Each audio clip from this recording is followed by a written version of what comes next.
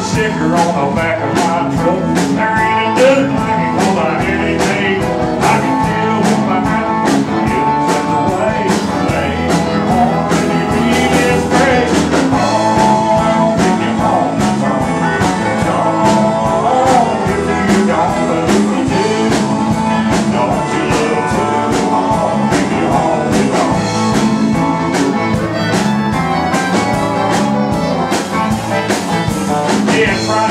go in